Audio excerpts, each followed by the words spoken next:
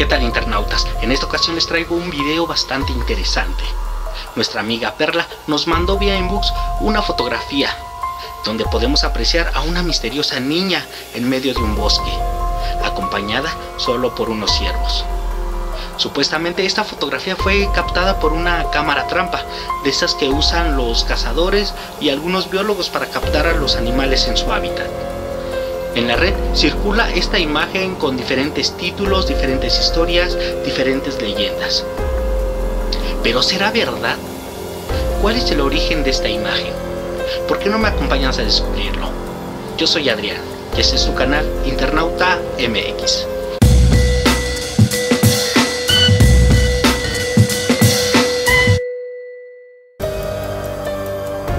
Esta es la fotografía por la cual muchos no les gustaría acampar en un bosque, por miedo que se les aparezca el fantasma de la niña. Infinidad de historias como estas son las que circulan en la red.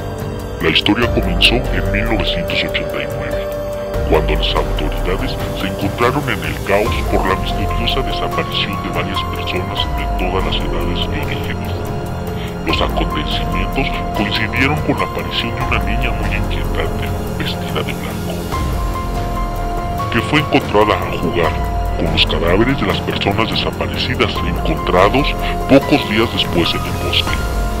La niña de nueve años, que se pensó que podía estar poseída por el diablo, fue acusada por la muerte y las desapariciones de estas personas.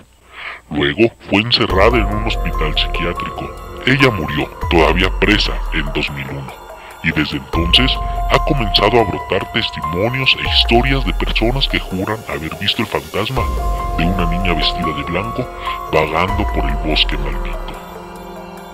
Esa es una historia de muchas que circulan en la red y con títulos variados como Niña poseída en un bosque, Fantasma de una niña captada por cámara trampa hasta esté en el top de las fotografías que te causarán terror y morirte de miedo, o fotografías que la ciencia no puede explicar. Pues aquí en tu canal Internauta MX nos dimos a la tarea de investigar y esto fue lo que encontramos. En primer lugar no fue difícil dar con la fuente de la fotografía, hasta encontramos una secuencia de las mismas.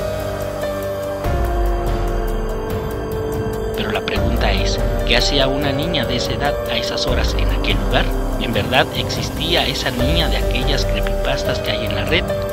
Pues ¿qué creen? En nuestra investigación nos percatamos que la fotografía es real. No era Photoshop, pero tampoco era ningún fantasma, y mucho menos una niña poseída. Aquí demostramos una fotografía a color de la misma niña y tomada de día.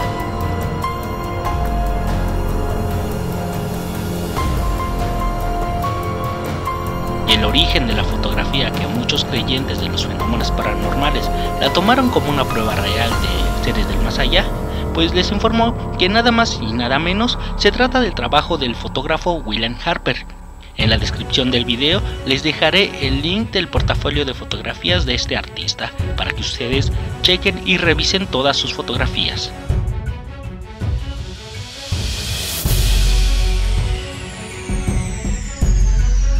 También podemos encontrar un texto que dice, la cámara está camuflada y amarrada al árbol.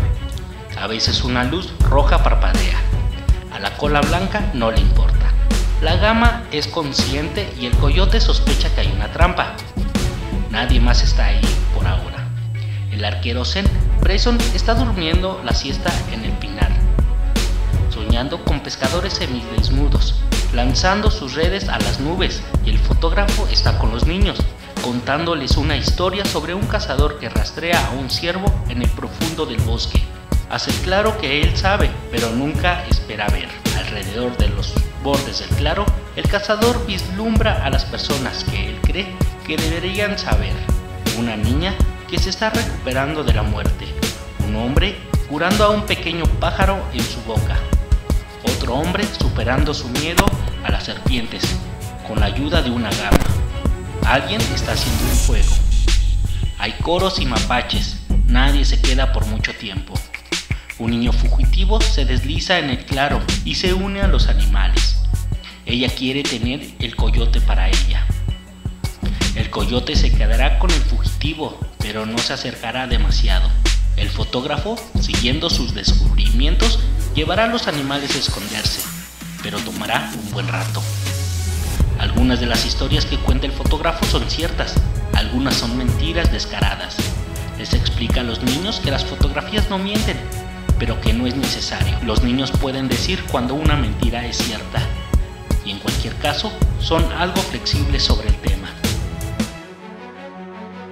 caso más resuelto por Internauta MX. Espero te haya gustado el video. No olvides activar la campanita.